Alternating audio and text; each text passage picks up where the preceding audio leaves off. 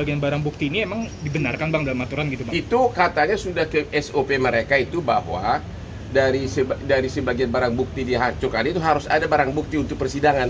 Dan pada waktu itu dihadiri wali, kalau nggak salah pejabat Pemda setempat, wali kota kalau nggak salah ya, maupun Kapolres.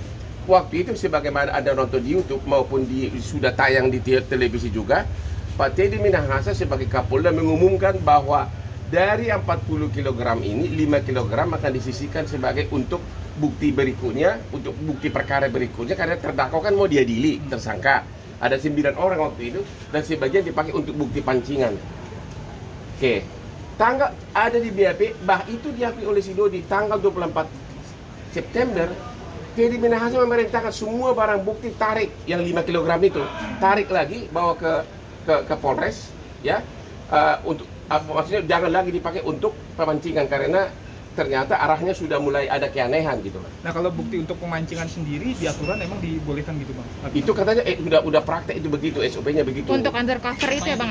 Ya untuk undercover dan Teddy Minasa tidak pernah melihat itu barang bukti, tidak pernah menyentuh sesudah semuanya itu adalah di bawah pengawasan dari Kapolres.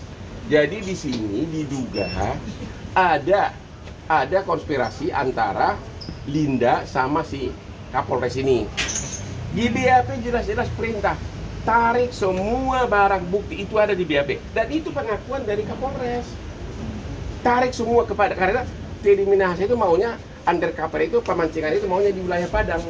Kok sampai ke Jakarta? Hmm.